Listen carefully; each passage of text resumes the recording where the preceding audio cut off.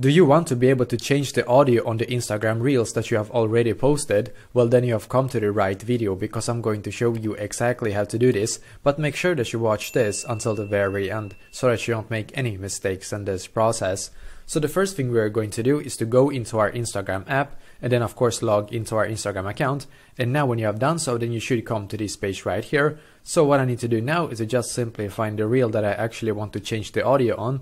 So as you can see the first reel right here, let's say that I would like to like change the audio on this reel. Well then what I need to do is to firstly make sure that I have this specific reel that I want to change, I have it saved in my camera roll. So make sure that you have it saved because what you need to do now is to just click on the reel and then click on the three dots in the top right corner or top uh, top bottom uh, right corner sorry. So in the bottom right corner you can see that there's three dots so just click on them and as you can see, we're now taken here. So what I need to do in here is to just simply click where it says delete and then click on delete again.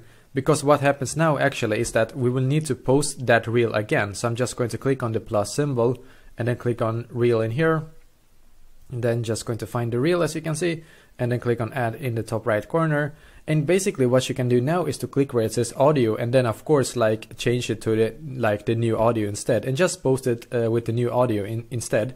So basically this is exactly how to do this, so let me know in the comments below if you have any questions and I will do my very best to try to help you. And also please leave a like on this video and subscribe to my channel because I'm doing a lot of helpful videos constantly that might be very useful to you. Thank you very much for watching and I wish you an awesome day.